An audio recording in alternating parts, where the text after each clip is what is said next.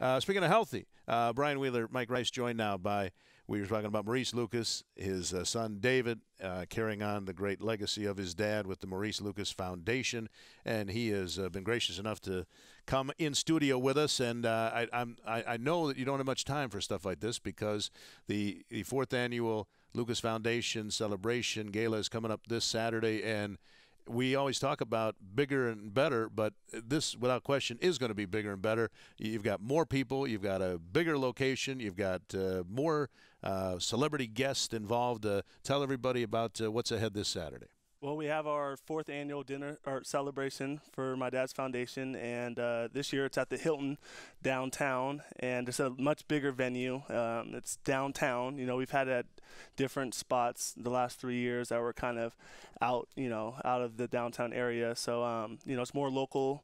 A lot more people can attend this year. Um, we got Bill Russell, Bill Walton is coming back, Lionel Hollins, and uh, you know, there's Buggy right there. But uh, yeah. You know, we Brian Grant's a big supporter, and we have Lenny Wilkens as one of our guest speakers. Um, so we're excited about that. Downtown Freddie Brown will be in attendance. So um, you know, we're shooting about 700 right now.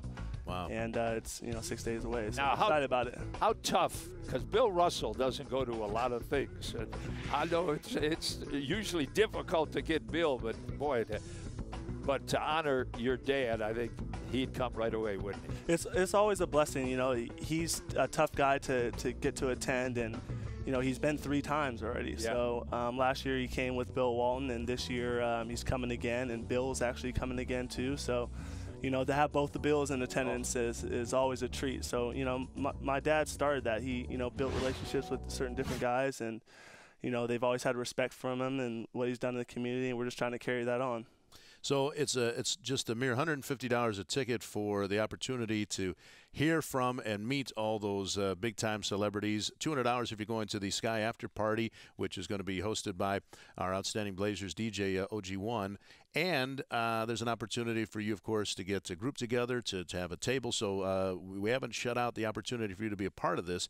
Uh, you can go to uh, ML20, ML20.org uh, to register and find out more information. And there'll be an auction as part of the evening. David, you were telling me about some of the items. Uh, Mr. Walton's donated a pretty unique item that can't exactly be found every day of the week. Yeah, Bill is actually donating a night at his estate. Um, and he was excited to do that. You know, he's he's donated a few other items in the past few years, but he wants to donate his his house for you know a retreat for a business or you know personal use. Um, but he has you know. Can you bring OG one with you? To... I'm sure he's gonna have his own DJ. He's probably oh, gonna be on there with the Grateful Dead or something like that. yeah, yeah.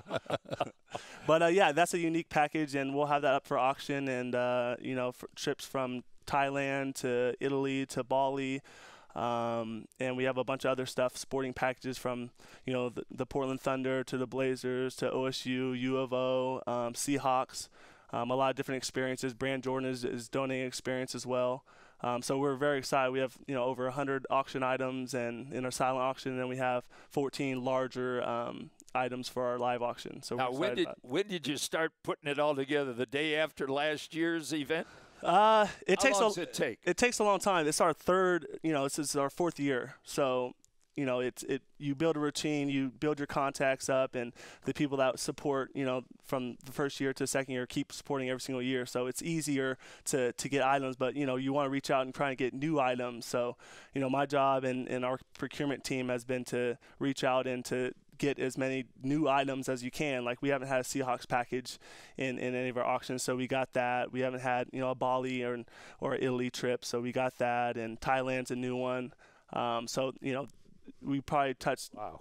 30, 40 new people to, to donate to donate auction items. So so people hear the, the, the, name Maurice Lucas Foundation, but maybe they don't totally understand all the good that the foundation does on a day-to-day basis. Correct. We have an after-school program, and uh, right now we're at Irvington, and it's our, our, third year. We just started last week, um, and we start sixth grade and we go to eighth grade. And our um, our mission statement is teaching life lessons through sport. And uh, we have an in-classroom piece, we have a curriculum piece, and we have a gym piece, and we kind of bridge that gap between the core values that we teach. Um, so it's exciting. It's, we went from two days a week for two hours a day to four days a week for two hours a day for an entire year. And uh, we've been at Irvington for three years now, and uh, we're going to start our, our new school for, for a year long program. And we've been at, you know, eight different schools and doing our nine week sessions that go along with our one year program. So, you know, our, we have a program director named Karen Barker, and she's, you know, been a rock star when it comes to to the program and she you know takes it to heart. So she's been putting a lot of time and energy into building the, the, the program up and to adding new things and offering scholarships. And we do a bunch of different field trips throughout the year and uh, try to you know get them you know be able to see like OSU or a college and campus and a dorm room and what it takes to get into school and stuff like that. So we take a few trips like that to OSU, PSU, and PCC, and then we take them to a Blazer game, of course, and do different things like that. So you know, kind of open the kids kids' eyes. But we focus on at-risk, low-income, special needs kids. Uh, Maurice would really be proud of how you've carried on, wouldn't he? Uh, I hope so. You know, he he had some big shoes to fill, and you know, I'm trying to do the best I can between our family members, and you know, it's it's it's very different with him being gone. Yeah. You know, he's it's been four years, but it feels like it's been a lifetime. You know, I think about him every second of the day, and there's nothing I do that I don't think about him. You know, and there's a lot of big supporters and a lot of people that you know he was dear to. So, you know, it's, it's awesome to have the support from the Blazers, you know, being our title sponsors this year, along with Nike and Brand Jordan. Um, you have Alpine Mortgage and uh, Community Cares as our next biggest sponsor. So, you know, there's a lot of a lot of support, you know, that supports the foundation, and you know, these kids need you know as much support as we can, and we're trying to give back as as much as we can and, and touch as many kids as we can. So, you know, all the support we can get, we'll take it. It's coming up uh, this Saturday, the Lucas Foundation uh, fourth annual uh, celebratory uh, gala, gala at the Hilton in downtown Portland, starting at uh, 5 o'clock. And again, the great speakers and uh, great celebrities that'll be on hand. We're going to spend a few more minutes with David. We'll talk a little bit more about the event, what the foundation does, and about the impact on his on his life that his dad still has. And, and how he punched out Chocolate Thunder. Yeah, yeah. In fact, those shirts are, are really illustrate that, that great, great pose from Game two of the 77 finals that turned that entire series around. We'll continue. It's Trailblazers courtside. Brian Wheeler, Mike Rice. We'll spend a few more minutes with David Lucas as we continue. We are streamed live at trailblazers.com and simulcast on Comcast Sportsnet and the Blazers Radio Network.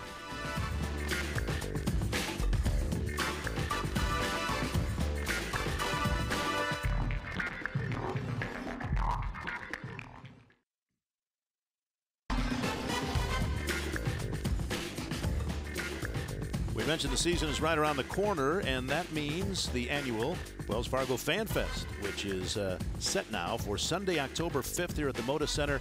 That means it's an opportunity for you to uh, be on hand for a very open Trailblazers practice. How do they get scrimmage. tickets? Well, it's very easy. Uh, doors open at 6 o'clock. Uh, so, again, because everything's free, you got to line up early for the best seats. But uh, if you normally sit, for instance, in the 300 level or you want to experience sitting in a different spot, you have the opportunity to do that. The admission is free.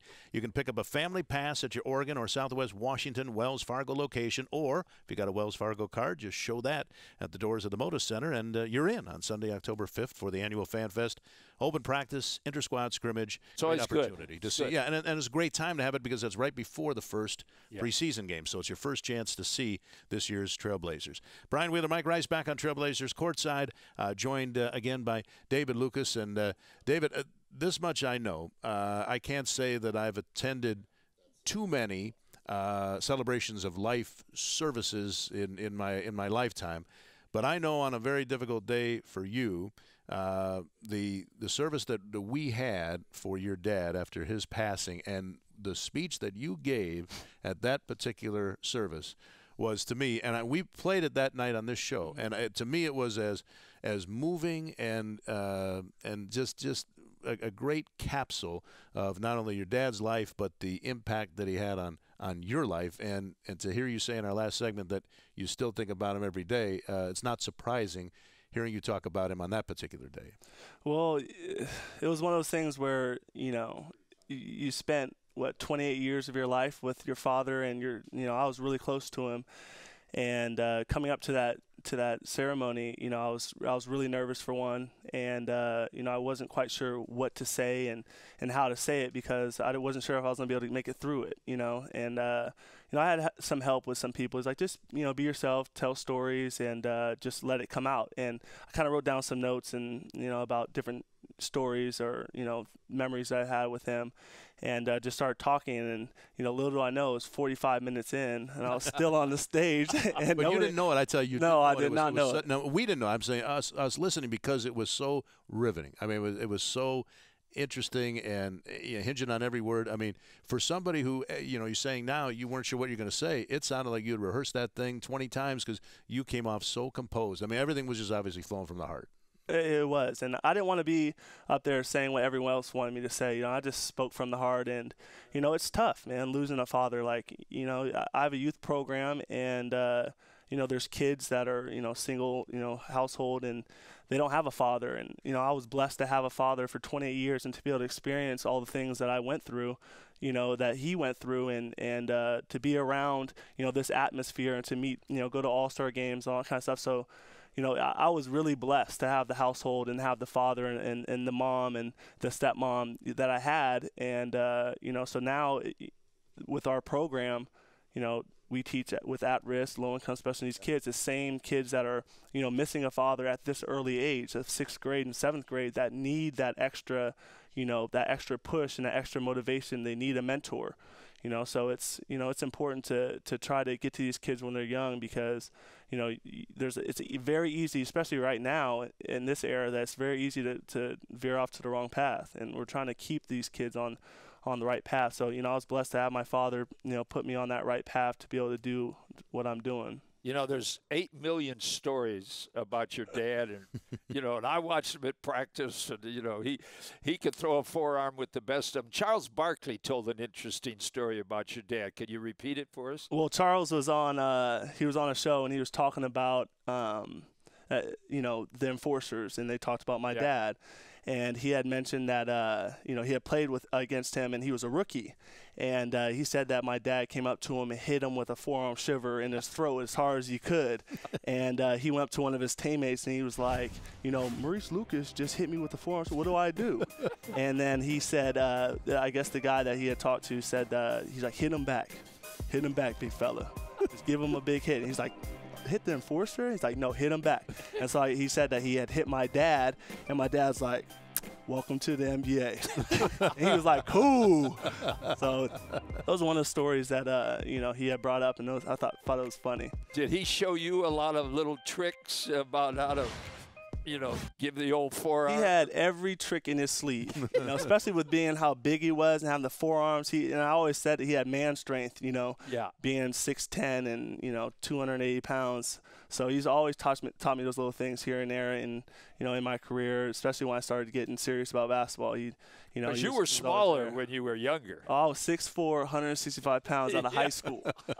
so uh, you know, I was at Oregon State, skinny, and and people was making fun of me, and like, that's the that's the enforcer's son, you know. So I I had to hit the weights and ho- hoped I would grow a little bit, and I ended up doing that, and yeah, you know, I ended up all right. Yeah, you did. But he he joked with us though, and and, and say that you know I, he goes, I don't even know if I really could have you know won a lot of actual fights, but the but the, the the the thought that maybe I would fight somebody, the intimidation factor. I mean, he certainly wasn't going to tell anybody that that he was going to go up against. I mean, he, he ran with that reputation. Hey, the way well he looked at people. Oh yeah, he that, didn't need to fight. That sneer, that sneer alone that got people. Stare, man. Yeah. in practice, I even stepped back. He was like, hit him first. You know, if there, if he, you know, in, in that 77 in that fight, you know, that was a, a big deal. And yeah, you know, we don't promote, you know, fighting and, and all kind of stuff. That's why you have the shirt on. But you know, Darryl was being the bully. Yeah. You know, and it was coming after a smaller, you know, teammate of my dad's, Bobby Gross, and you know, he's actually our vice chair of the foundation. Yes, right. You know, so that's a coincidence. But anyways, he had body slammed Bobby Gross, and my dad came to the rescue. You know, he always came to rescue for Bill Walton and, and everyone yeah. else. So it's it's a great tribute. I mean, to your dad. We know that Bill Walton always. I mean, if you bring up your dad's name, I mean, he he, he can talk about a lot of subjects for, for quite a lot of time, but oh, yeah. he, he can go on forever talking about your dad. And the ultimate tribute is naming his son Luke after after your dad, basically. Uh, yeah, that was you know, and I I thought that was special. You know, Bill is the kind of play, kind of person that he loves my father. And like I, I didn't realize it for the last he got my dad got inducted to the oregon sports hall of fame. And bill came down for the for the ceremony. And he was going down the street you know prancing my dad's name. And and right then i knew that bill loves my dad and he's been coming to these events and we asked him for his bio for this year because he's in our he's on our program and uh, he put you know glad to have known Maurice Lucas. Yeah. That's all he wanted on there. Yeah. So he's you know he's he's a good friend and you know he respected my dad and he appreciated my dad always being there for him and making it easier for him. Well, and obviously it's made it's made a big difference. Cliff. All the Blazer teams now, do you think there'll be one that ever can match what that 77 team did? That team was special. And I wasn't around during that time, but you know, I watched the highlights and I watched the, the different games, the entire series and you know, they were just clicking like like no other, and I, it's hard to see that. You know, Yeah. you see the Spurs clicking like that, but you know, it, you never know. You know, I, I have faith that the Blazers will, you know, have another championship down the road. When I don't know.